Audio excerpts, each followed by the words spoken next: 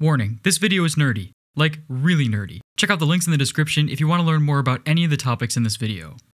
Computers, arguably the most insane invention of all time. And since I started YouTube, they're my most requested build.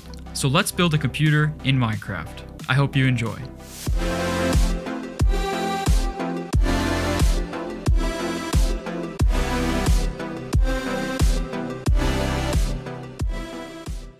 First, let's talk about what we want our computer to do. Our computer is going to run programs, but these programs are not what you might be used to, like C++ or Python. we need to go a little bit lower. Instead, a program is going to be a list of instructions for the computer to execute, one by one. This is called an assembly language, which is the lowest level language a computer can understand. But what does an instruction actually look like? two main sections the opcode, which tells the computer which instruction it is, and the operands, or the arguments of the instruction. You can think of this kinda like a function call. The opcode is the name of the function, and the operands are the parameters. In summary, when we code a program, we're really just making a list of instructions. And when our computer runs a program, it executes those instructions one by one. Now let's talk about how our computer will actually work. There are infinitely many ways to design a computer, and there's a lot of research and planning that goes into making one. Luckily though, I've already done that, so let me show you how the computer is going to work. The first component we need is a register file of 8 registers. Each register has an address, like a house address, and some data that lives there.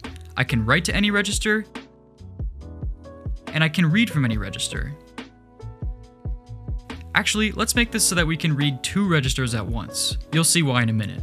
Next, we'll have an ALU, or an arithmetic logic unit. An ALU performs common operations like addition, subtraction, or even bitwise logic.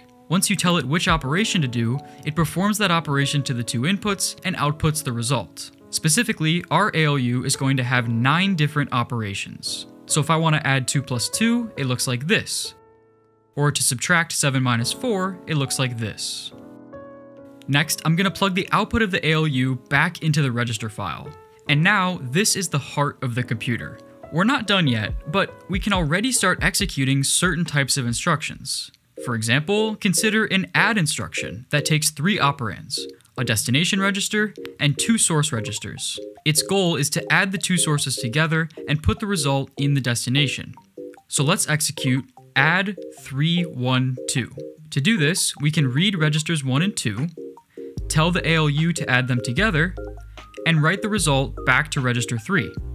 And just like that, we executed an add instruction. Pretty cool, right? In fact, let's make a similar instruction for every ALU operation, and this gives us our first 9 instructions. Okay, but how do we get numbers into the registers in the first place? For that, let's add an instruction called load immediate, which loads a register with a number. That's all it does. Executing load immediate to 10 puts a 10 into register 2. Notice how the number we want to load is literally stored on the instruction itself. This is called an immediate. And now, with just these 10 instructions, you can already write a program. Here's a program which calculates 2 plus 2, and it puts the result into register 3. So again, this isn't the full computer, but I think it's enough to start building.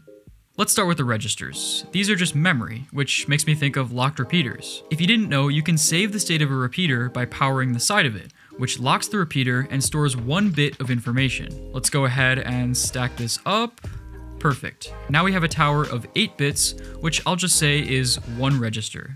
Writing to this register is actually pretty easy. All you have to do is put data behind it, and then quickly unlatch and relatch the locks. And then for reading, what we can do is block the output of the register until someone wants to read it. Easiest way to do that is with a comparator on subtract mode. Cancel it from the side by default, and then when you want to read the register, stop canceling it, and the data comes out. Okay, now we have a fully working 8-bit register. Let's make some more copies, and we'll have a register file.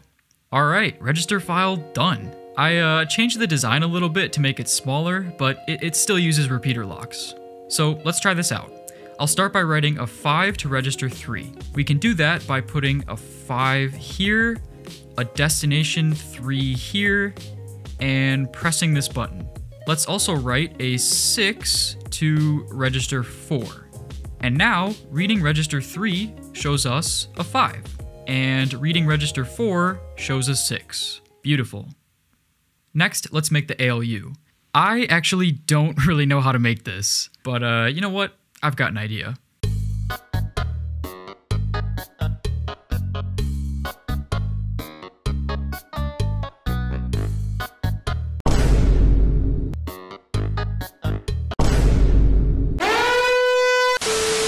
After some learning from Sammy, I finally have an ALU. Uh, here's the two inputs, and the result comes out over here. And these levers let you choose which operation you want to do. To show you how it works, let's go ahead and put in a 5 and a 3. Turning on addition gives us 8, subtraction gives us 2, and bitwise uh, and gives us a 1. Those are just some of the operations. Obviously, we have a lot more at our disposal. All right, let's connect these together. Awesome. And with that, the heart of the computer is done.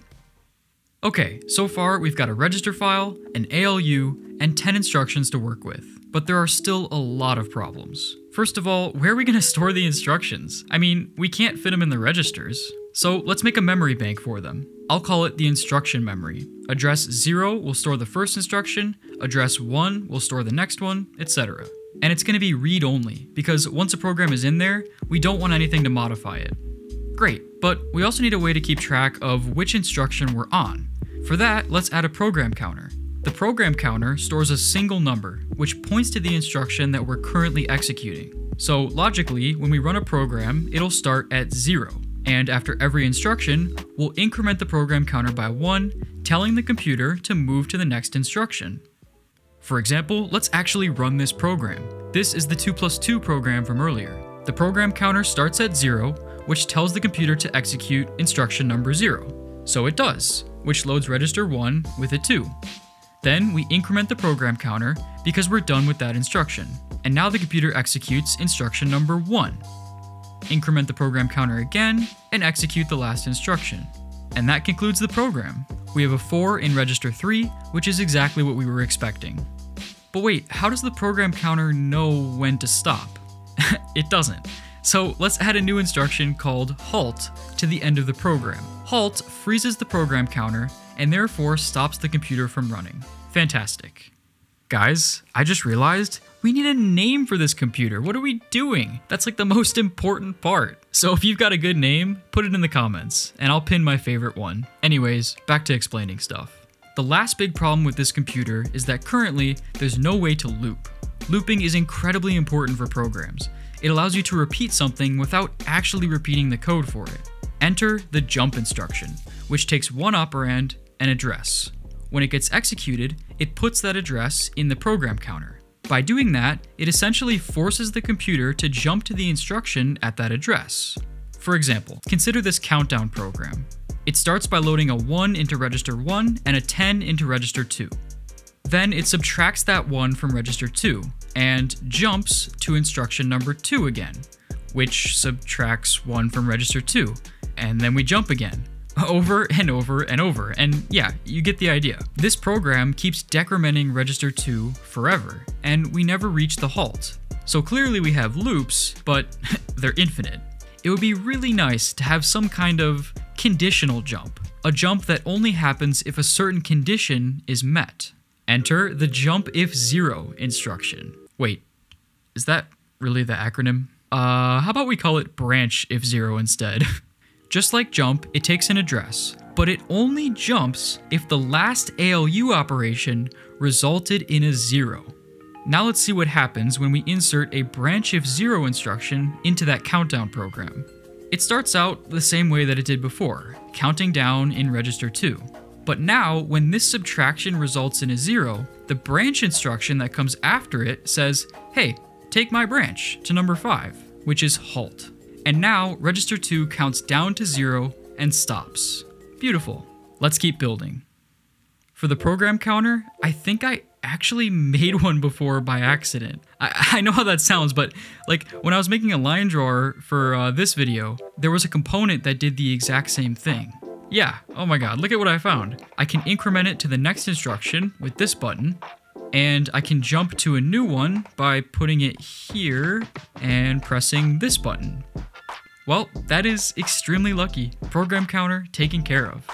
Next, let's make the instruction memory. So far, I've been showing you instructions as strings of words, and that's totally fine, that's how an assembly language works. But at the lowest level, everything is just a binary number to the computer, even the instructions. And that's what truly gets stored in the instruction memory. A bunch of binary numbers, each representing a unique instruction.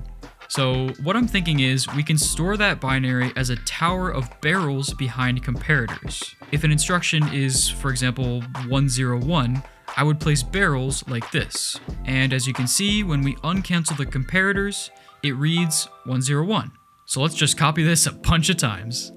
Alright, instruction memory looking good. I wasn't sure how many instructions we actually want to be able to store, but uh, currently it can store up to 64 instructions. If we need more, we can always expand this later. Now let's connect everything together. Oh man, this is looking pretty cool already. If I did everything right, everything should be hooked up. So, at this point, I think it's time to code our first program in Minecraft. Let's code that countdown program from earlier. This is gonna be kinda painful, because right now the only way to code a program is to do it by hand, placing barrels manually. But uh, we gotta do what we gotta do. I'll be back in a bit.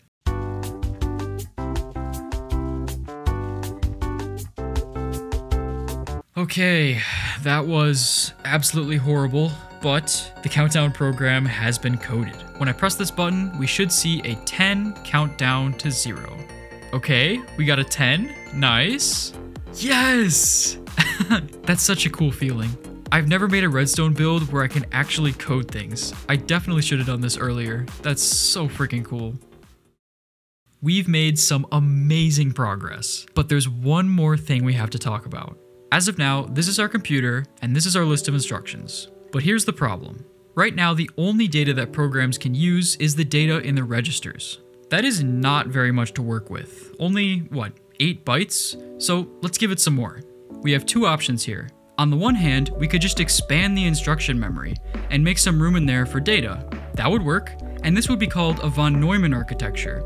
On the other hand, we could keep data separate from the instructions in its own brand new memory bank. And this is called a Harvard architecture, where the instructions and data are separated.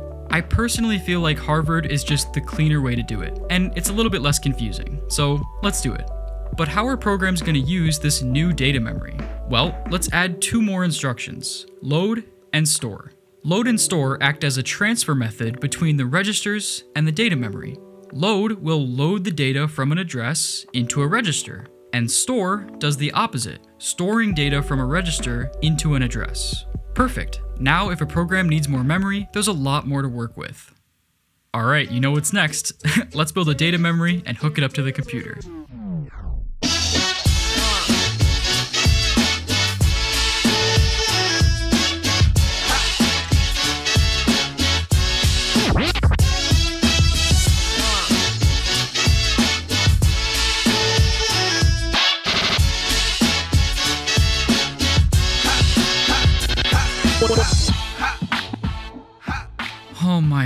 God, that took a while, but I think it's done. Dude, can I just say, I love how square this thing is. It makes it look more like a like a real life CPU. Also, now that I think about it, we should probably make a screen and maybe some inputs, right? Because right now it's kind of just a box. It's pretty hard to tell what's going on. Well, back to it.